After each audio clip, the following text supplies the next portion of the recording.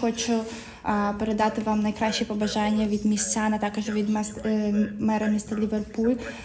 Ми ж розуміємо, яка наразі ситуація, і що через вторгнення Росії неможливо провести Євробачення у вашій країні з забезпеченням усіх заходів безпеки. Такі сама історія нам надала такий шанс, щоб е, вивести наші відносини на новий рівень і наповнити їх е, новим змістом.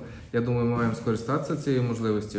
Е, Ми готові, зокрема, і я в цьому відношенні повністю передаю позицію міського голови, який хотів передати великий привіт місту Ліверпулю, лорд-меру, керівництву міста.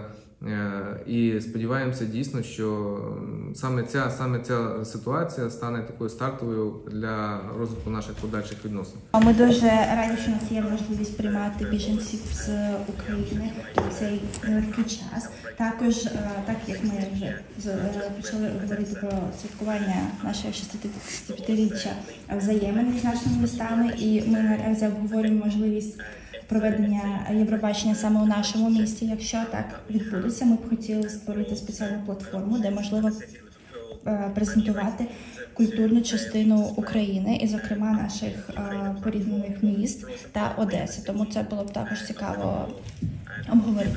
Ну безумовно, Одесі Одеса як е, мультикультурне місто, як культурна столиця України завжди має що показати, і навіть незважаючи на війну, є е, у всіх напрямках е, культури, мистецтва, є представники, є можливості. І я думаю, що це справедливо, що саме Великобританія е, є тою країною, де буде проведено Євробачення замість України, як країна, яка напевно надає чи не найбільшу підтримку Україні, і, народ, який е, щиро, щиро підтримує нас у цій війні.